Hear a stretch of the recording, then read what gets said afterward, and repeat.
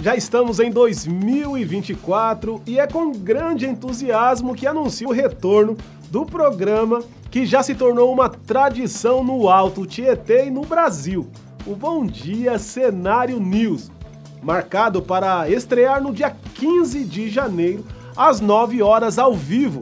Este programa promete trazer ainda mais conteúdo relevante e informativo do jeito que você conhece com notícias do Alto Tietê, do Brasil e do mundo. Além disso, em um ano tão importante como este, em que as eleições municipais se aproximam, o Bom Dia Cenário News trará uma cobertura especial.